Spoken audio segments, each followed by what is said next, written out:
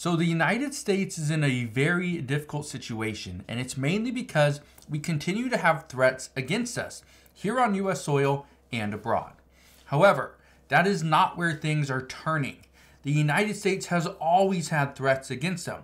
However, at this point, we are now getting reports that certain groups are expected to target worldwide. We're going to see worldwide terror attacks.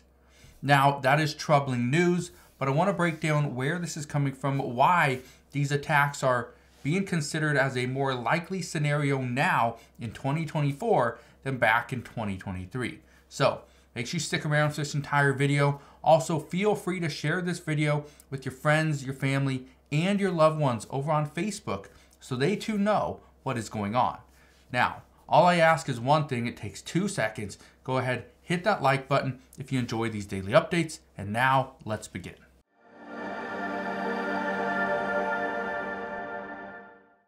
So if you have been following me here on this channel for some time, you know I have been warning you of the potential attacks that are coming. These are statements coming from the FBI, Department of Homeland Security, and other uh, governments around the world. Now, this is one of the reports I showed you just the other day.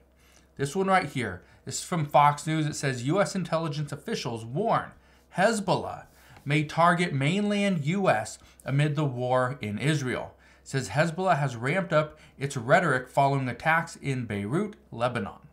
Now, this was all coming from an attack that was placed on Lebanon, and it took one of their one of the uh, leaders of Hamas. Well, because uh, Hamas is backed by Iran, uh, Hezbollah is backed by Iran, and so are the Yemen Houthis, all backed by Iran. These are all Iranian backed proxies. Well, the problem is that now there's more pressure on these groups to perform and do the attacks that they were set out to do. This is one of the reasons why the Yemen Houthis have continued to attack ships going up and down the Red Sea. This is why they endured a brutal attack from the United States and uh, from the United Kingdom uh, just the other day. Um, and what we know moving forward, though, is this. This came out just today. I want to show you this because, again, I think this is troubling news, but at the same time, we need to understand what is happening. Look at this right here. It says Hamas working to orchestrate terror attacks worldwide, according to the IDF. This is the Israeli Defense Force uh, it says the IDF officials have compiled intelligence on international terrorist operations with the assistance of European leaders. This was just published today on January 13th.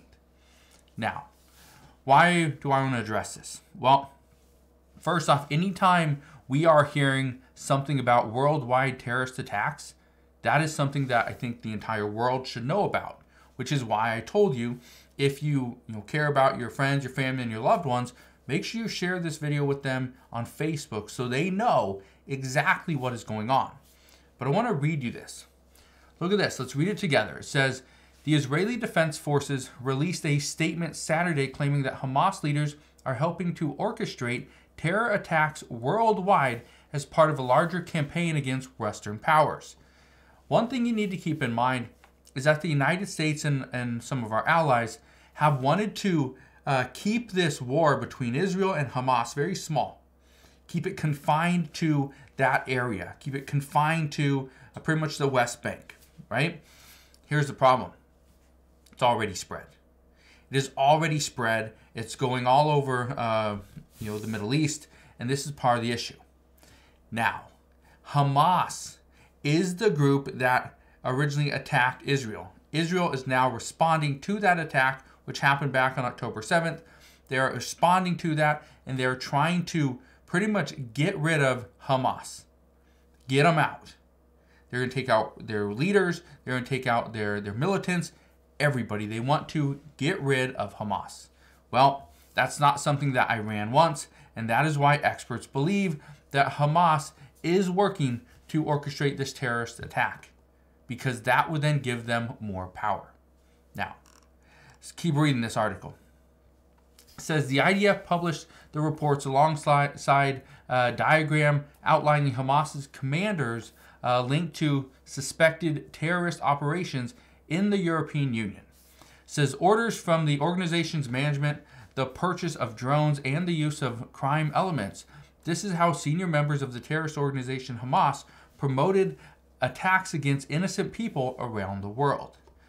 One thing that I can tell you is that when we are starting to see these uh, more and more reports of attacks, threats, possible injuries, uh, just possible uh, invasions, we are now starting to take this more serious.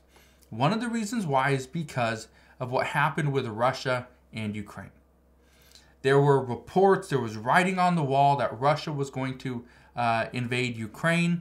We didn't know when, but when we heard from Russian officials, they said they weren't going to attack. This is just a, a military uh, training operation. That was it. So now we are focusing in on different aspects of what's going on. That is why we're starting to see more and more potential threats, which is also one of the reasons why the United States wants to keep our troops in the Middle East. Just in case we need to start sending troops to certain countries, we have some already there that we could just pick up, restation them, and put them somewhere else. So that's what we're hearing. Now I want to keep reading this article. This is a statement right here. It says, Thanks to combined inter-organizational forces in Israel and abroad, a comprehensive and in-depth picture of Hamas's terrorist activities has been revealed.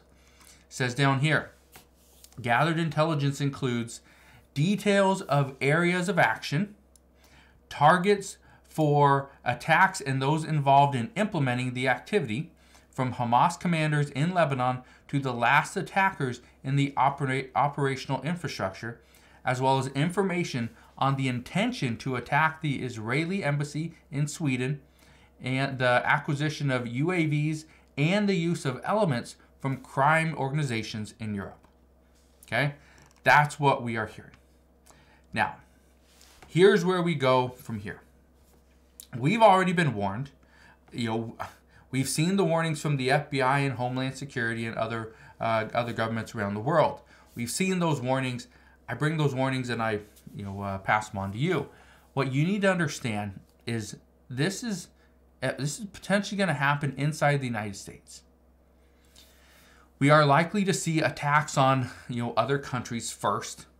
Okay, some of our allies, but then if we do not get the picture, we don't uh, back off, this war between Israel and Hamas continues, and the United States is still a threat in the Red Sea, the expectation is that we are going to see some type of terrorist attack here inside the United States. Now, it would likely be it's not going to be a large group according to reports and many experts. They say there's not a there's not thousands and thousands of people from hezbollah here in the united states that are all going to attack us at once. That's not going to happen. Could it? Possibly. Is it going to happen? They say the chances are very unlikely because they don't have those kind of numbers. What they're going to see is they're going to see a lone attacker one person they're gonna, you know, as far as how the attack is conducted, that we're not gonna get into those details. But just understand, it would be one person, and it would likely target a large gathering or large event. This is why, according to many uh, experts and according to new surveys, they are saying that the 2024 election and the campaigns leading up to it are likely going to be some of the most guarded events that we have in 2024, simply because of the political ramifications of that person potentially getting in the House, the Senate, or the presidency. So that's where we're at at this time. Again, just wanted to provide you with this quick little warning because we are now starting to see more and more reports of potential threats against us here in the US. And that is a massive, massive issue. So that's where we're at at this time. Again, thank you guys for watching. Consider subscribing, and I'll see you guys on the next one.